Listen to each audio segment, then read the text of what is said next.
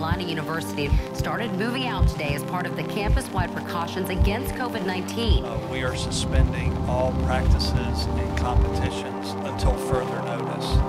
Where we are today has been a sacrifice for everyone. As every year is, the football season is a new beginning, especially this year.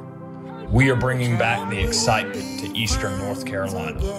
We, the East, have committed to playing football this fall, and we are only three days away from the start.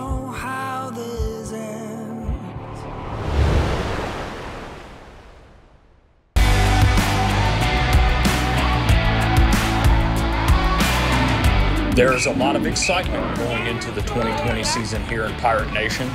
With the addition of a lot of new faces to our crew, including coaches and players, this Pirate team has a whole new identity led by second year head football coach Mike Houston.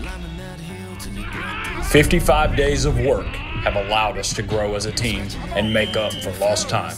Pirate Nation will see a familiar face as Donnie Kirkpatrick handles the play calling for the Pirates this fall.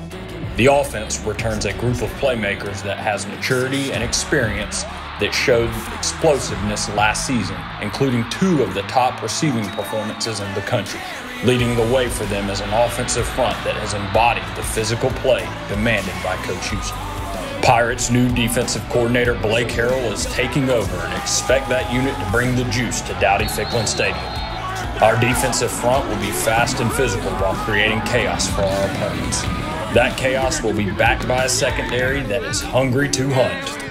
With plenty of experience returning amongst the specialists, Coach Byron Thweatt is taking over the helm as special teams coordinator. There was never a doubt we were going to play Pirate football. We just needed to know when and where.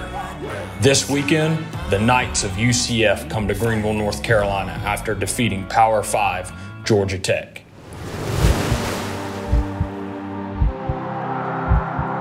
Even though Saturdays in Greenville will look a little bit different this year, there will still be echoes of purple and gold. The smell of barbecue will be in the air, and the colors will be hoisted. Pirate football is back.